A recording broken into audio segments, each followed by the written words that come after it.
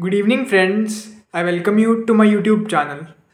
So in this video, we will be discussing the GK facts. The first one, which is the first state or UT to have a district level good governance index and it is Jammu and Kashmir. So Jammu and Kashmir is said to become the first union territory to have a district level good governance index. Second, where is the appellate body of the World Trade Organization based at? So it is based at Geneva. The appellate body of the World Trade Organization is a standing body of seven persons to hear appeals in disputes brought on the WTO members, the World Trade Organization members. Third, which Indian company has commissioned India's largest solar power project at Rajasthan? And it is Azure Power. Indian solar power pro- producer Azure Power has fully commissioned its largest project, a 600 megawatt solar power in the state of Rajasthan. Fourth, China has found traces of coronavirus in which fruit?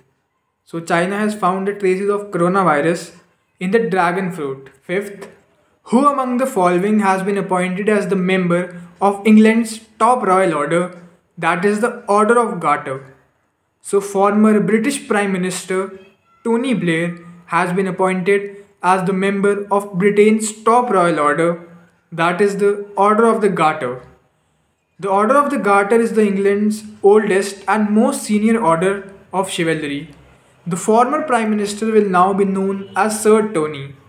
These appointments are made based on the personal choice of the Queen.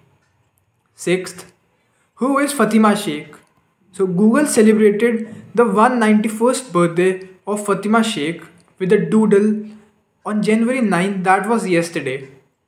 Fatima Sheikh was an Indian educator and a feminist icon. She is remembered as the India's first Muslim woman, along with the other social reformers Jyotirao and Savitribai Phule, and they co-founded Indigenous Library in 1948 one of India's first school for girls.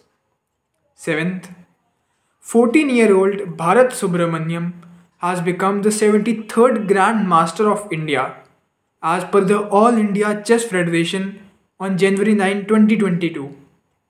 The 14 year old teenager from Chennai completed his final GM norm and crossed the requisite 2500 rating at Vergani Cup Open in Italy.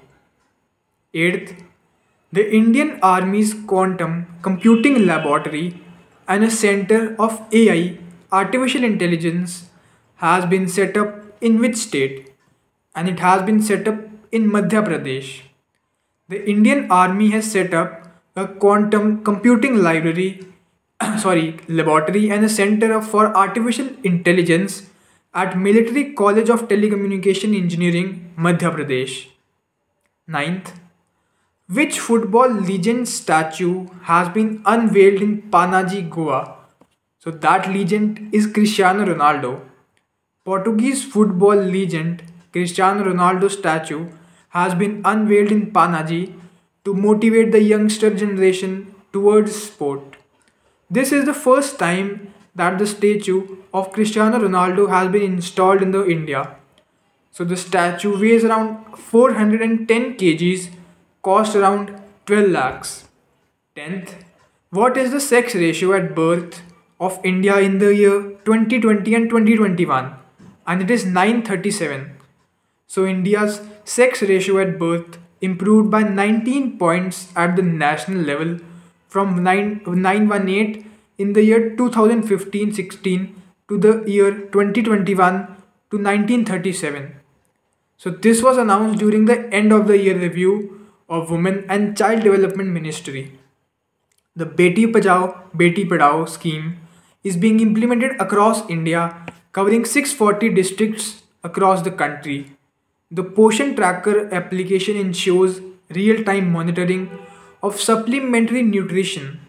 The Pradhan Mantri Matru Vandana Yojana scheme is implemented for, for pregnant women and lactating mothers. 11th, the latest version of Consumer Protection Act was passed in which year? And it was passed in the year 2019. The Union government, in exercise of the powers conferred by the Consumer Protection Act 2019, has notified the Consumer Protection Direct Selling Rules 2021. And as per the new rules, direct selling identity and direct sellers are prohibited from promoting a pyramid scheme or enroll any person to such scheme or participate in such arrangement. They are also prohibited from participating in money circulation scheme in the name of direct selling business. 12th, which new technology sends signals to power plants every 4 seconds to maintain a constant frequency in India and it is automatic generation control. The Union Minister for Power and New and Renewable Energy, Raj Kumar Singh, has dedicated a new technology named Automatic Generation Control to the nation.